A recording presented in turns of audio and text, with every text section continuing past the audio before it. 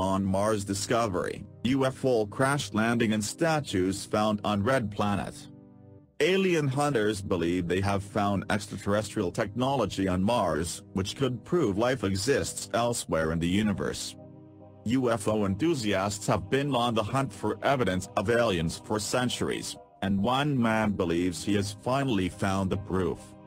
Conspiracy theorist Scott C. Waring has been trawling through images on Mars taken by rovers and believes he has found signs of life.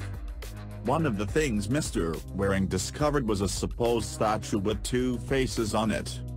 Another is what appears to be a crash landing site with a ruined spaceship in it.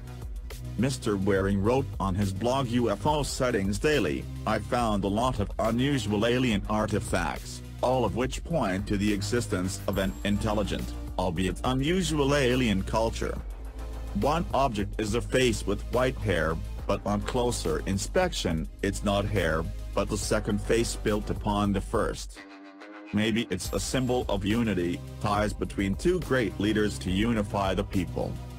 Also there were some faces, alien tech and a crashed alien craft broken into three large parts, However, skeptics and NASA would say the skull and other similar findings are just the effects of pareidolia, a psychological phenomenon when the brain tricks the eyes into seeing familiar objects or shapes and patterns or textures such as a rock surface. This would mean that the Martian warrior skull could just be a misshapen rock. This is not the first time that evidence of aliens on Mars has been discovered. Earlier this year, an alien face was found in a NASA satellite image of Mars, according to more bonkers claims. Mr. Waring was convinced it could be a rock carving, done by a Martian race, in the same way ancient Britons carved out the chalk figures in hillsides like the Giant of Cerne Abbas in Dorset and the Long Man of Wilmington in East Sussex. However, NASA insisted the rock is just a meteorite impact crater that has been left in the unusual form by later erosion.